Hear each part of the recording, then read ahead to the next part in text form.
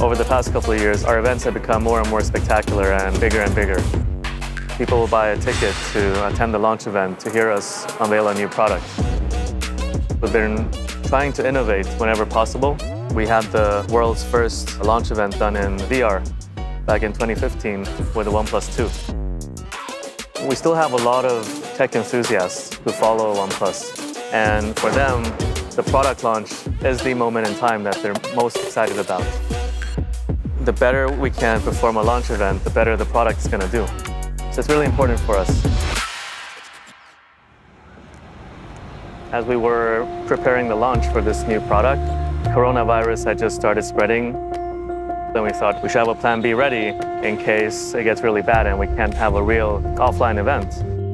We didn't know what to do until the whole kind of coronavirus situation uh, happened, and uh, that we're forced to, you know, think things even further on how we can still pull out a kick-ass launch. I was discussing with one of the of our guys here in the office, and he showed me this AR experience uh, on the table. And I'm like, hell yeah, like this hasn't been done. To do a whole entire product reveal and and the whole uh, the whole gadaboom uh, through the AR. As we started developing this idea, we kind of really fell in love with it. We decided to make this our plan A we immediately realized that there was a great opportunity to do a world-first product launch in augmented reality, which has never been done before to the level that we are uh, doing it. We need to seriously question how we transition experiences to people and how we make experiences come through these machines in the best possible way when we want to bring products to people. We want to give audiences around the world the possibility to have a very cool experience. We will have created the world's first product launch done in AR. So I hope we get a Wikipedia entry for that.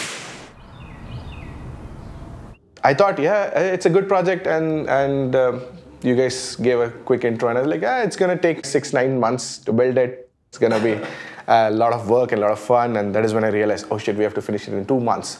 It's been a bit rough sometimes. I mean, it's been it's been discussions, it's been fights around. What do you want to tweak on illustration? Time is so uh, squished. If we looked at some of the examples from Matthias' screen there, you wanna you wanna you wanna you wanna tighten it. What direction to take at certain points? You know that we have some border issues when it comes to getting stuff into India. For example, all our AR invites and yeah, and the whole madness sort of kicked in. How we were gonna do this, and all the content that needs to be produced. You need to should have given us at least a year to build this. To be honest, it's heating up. We need to ship. We need to get stuff done. We need to ship. We need to change things. We need to alter the different formats. You can decide this, guys. Yeah. You know, Victoria and Matthias, you, you decide this. You need to continue to do it right now. The excitement starts actually before the event, receiving an invitation through the post, which is actually interactive as well. When you hold your phone over a physical invitation, the invitation comes to life and the countdown to the actual launch starts from your hands from the cardboard invitation. They're going to experience this through their through their phones. So you don't need a 90 minute keynote, you don't need a 60 minute keynote. People already know what a smartphone is and what it does. So just tell them what's different. So that's what we're doing with this event.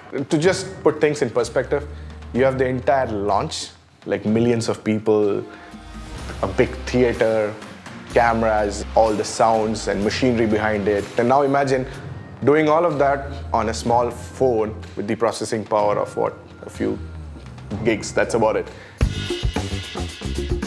The biggest technical challenge that we had at the beginning was obviously how do we portray Carl in the presentation in AR.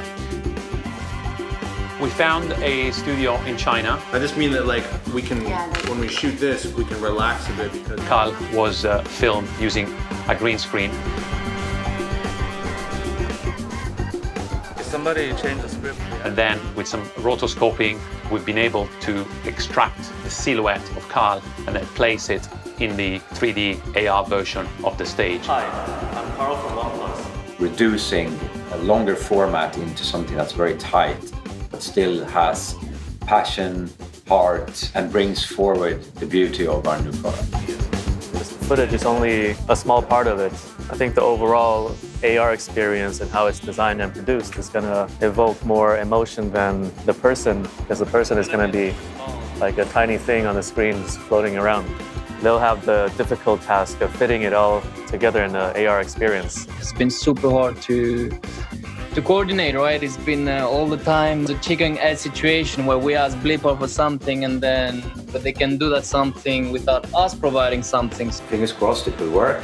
This is the first time anyone has done a complete product launch experience using AR. I guess it's been a world first, right? So we got all the positive that goes with it, but also all the negatives that no one really knows how the fuck to pull this out.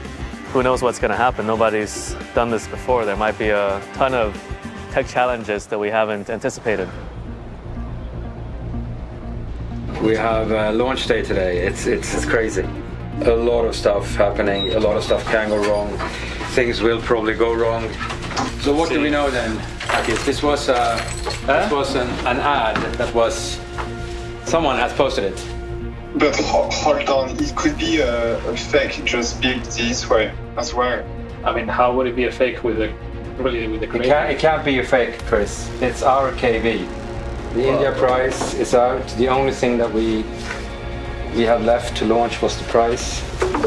Now it's out. It's clear that the campaign has never been off. I mean, on. There's a lot of people that have access to this kind of assets. Yeah. It's hard to determine who made this. Uh, can we check if the copy is the real copy? As in, like the, the KV it is, that's for sure. If the price now is out, then that whole thing just falls apart.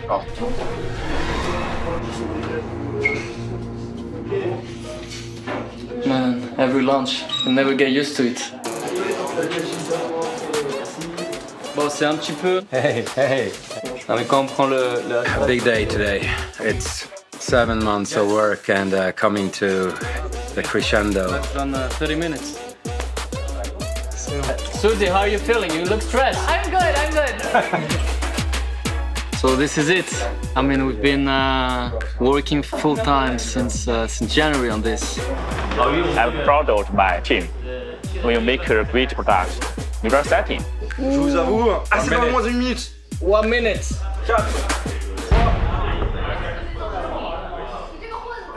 All right, Jack, can we get an update on this countdown? What are you, what are you saying for us here? Oh, ho, ho, ho, ho, all right, it's happening now. Hi, I'm Carl from OnePlus, and welcome to the world's first product launch in AR. So for the next 20 minutes, we're gonna make history together.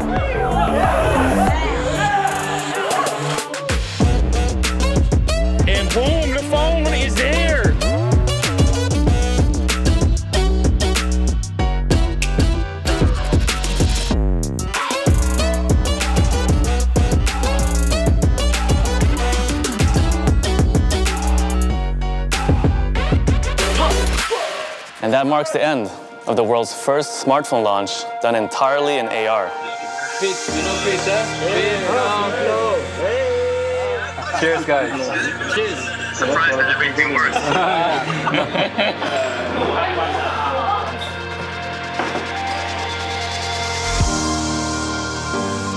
In a lot of ways, this project is you're doing something new, doing something different. Maybe the process is tough, maybe it's painful, a lot of hard work, or things are messy, or whatever the case. How the sausage is made is never pretty. But at the end of the day, if we can deliver the results together and the team feels like they've won together, then I believe looking back on the past you know, half a year, there's a high chance we'll feel like it's all worth it.